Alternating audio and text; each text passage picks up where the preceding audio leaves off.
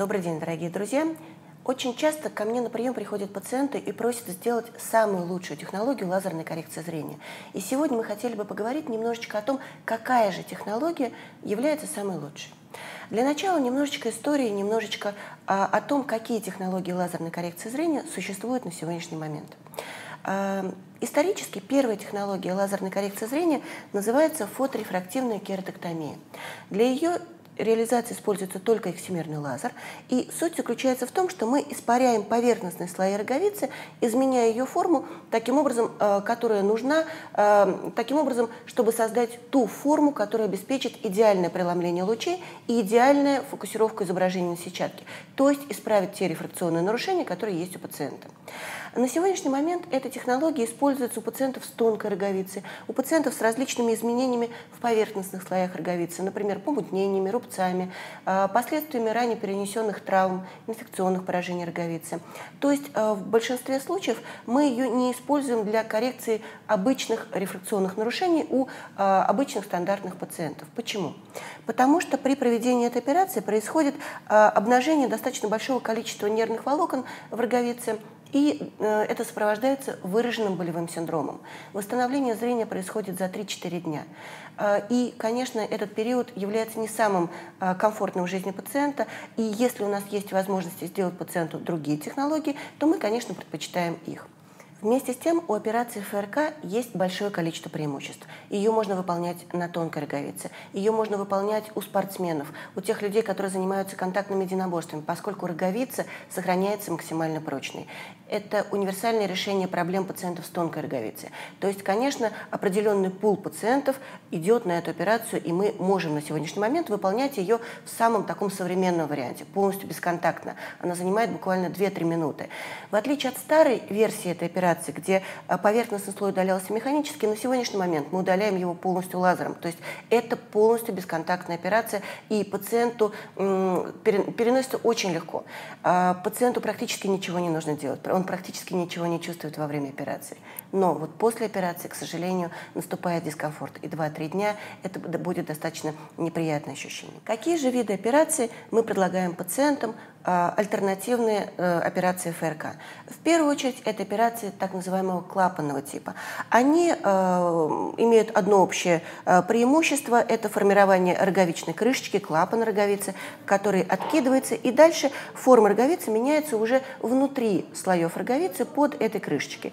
Далее она закрывается и заживает в течение очень быстрого э, промежутка времени.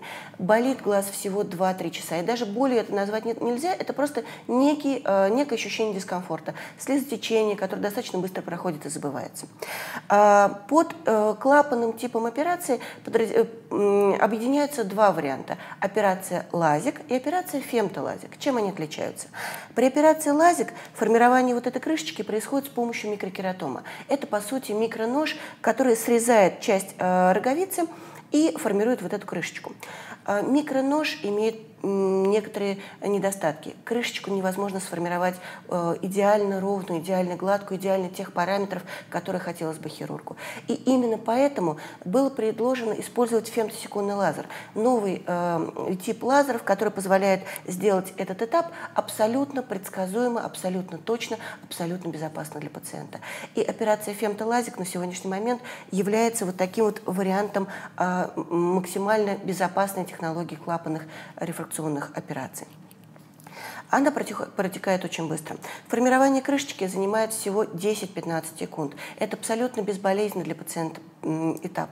А после ее откидывания лазер по специальной а, программе шлифует роговицу, меняя форму роговицы. И вот здесь, в зависимости от возможности лазера, мы можем решать очень большое количество рефракционных задач. В частности, мы можем выбирать астигматизмы, а, близорукость, дальнозоркость в широчайшем пределе. Дополнительно мы можем выбирать так называемые аберрации высших порядков. Это такие микронеровности роговицы, которые добавляют э, Э, добавляют некое снижение качества зрения. То есть, убирая их, мы можем достигать то идеальное качество зрения, ту идеальную остроту э, зрения, которую и жаждут получить пациенты в результате наших операций. А какой минус есть у этой операции? Крышечка прирастает в течение года, то есть удары по глазу, контактное единоборство э, желательно ограничивать в этот период заживления. Но сразу же предвосхищу э, частый вопрос. Сместить крышечку самостоятельно практически невозможно. То есть здесь должна быть очень сильная, очень неудачная внешняя травма глаза с достаточно сильным воздействием в край клапана. Поэтому бояться этой операции, опасаясь смещения крышечки не стоит. Э, я выполняю порядка тысячи операций в год. И очень большое количество моих пациентов – это профессиональные спортсмены, которые выбирают э, по различным причинам этот вид коррекции. Травм, смещение крышечек бывает один, в раз, э, один раз в несколько лет. То есть это очень редкое-редкое осложнение. Сместить крышечку э, более вероятно только в первые сутки после операции. Но здесь мы рекомендуем пациентов использовать солнцезащитные очки, избегать контакта с лицом и зоной э, операции, э, закапывать капли, не касаясь э, век, э, желательно с привлечением кого-то из близких в течение первых суток, поскольку только вот эти первые сутки вы можете сместить крышечку сами. После первых суток это практически нереально. Э, какие преимущества этой операции? Это максимально точное дозирование лазерного излучения и максимально идеальное качество зрения, достигаемое в самый ранний послеоперационный период. То есть уже на первые сутки пациент получает тот вау-эффект, за который, э, собственно говоря, и любят рефракционные операции. Третий вид э, рефракционных операций называется рефракционная экстракция лентикулы. Такое достаточно сложное название, оно объединяет две имеющиеся на сегодняшний момент технологии. Это Relax Smile и Clear. Это коммерческие названия технологий, которые, собственно говоря, э, сейчас доступны нашим пациентам. Какова суть этой операции? С помощью фемтосекундного лазера внутри роговицы формируется оптическая лентикула, эквивалентное количество диоптрий, которое нам нужно убрать для того, чтобы скорректировать те рефракционные нарушения, которые есть у пациента. Далее через микроразрез, который тоже формируется фемтосекундным лазером, происходит отделение этой лентикулы, и она достается наружу. Каковы преимущества этой операции? У нас нет роговичной крышечки, то есть даже то а, призрачная а, вероятность сместить крышечку, которая есть при операции фемтолазик, здесь полностью исключена. Второй момент. В роговице содержатся нервные волокна, которые отвечают за выработку слезы. А, при формировании роговичной крышечки мы временно повреждаем нервные волокна, и нужно время для того, чтобы они вросли обратно, и пациент вновь мог вырабатывать слезу в том качестве и количестве, которое было до операции. А, при операции а, рефракционной экстракции лентикулы мы не перерезаем нервные волокна, не усиливаем синдром сухого глаза и таким образом не а, вызываем синдром сухого глаза у пациентов.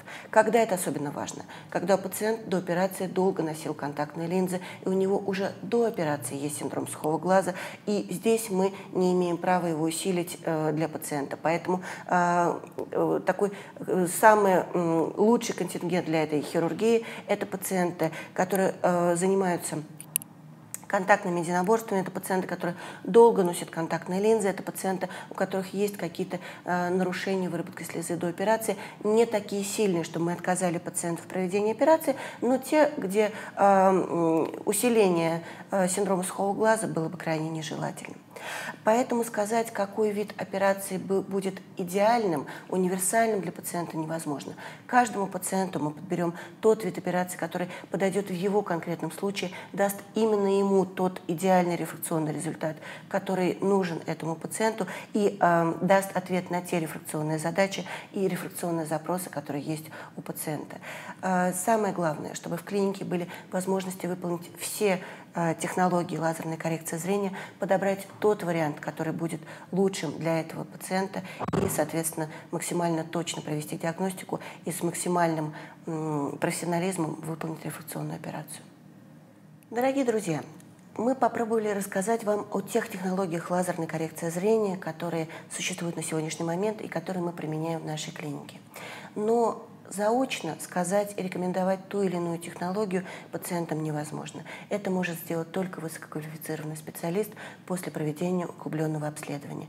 Поэтому мы ждем вас к нам на диагностику для того, чтобы провести полное обследование глаз и выбрать ту технологию, которую мы в нашей клинике сможем провести для вас, для того, чтобы дать вам то идеальное зрение, которое вы хотите получить в результате нашей операции.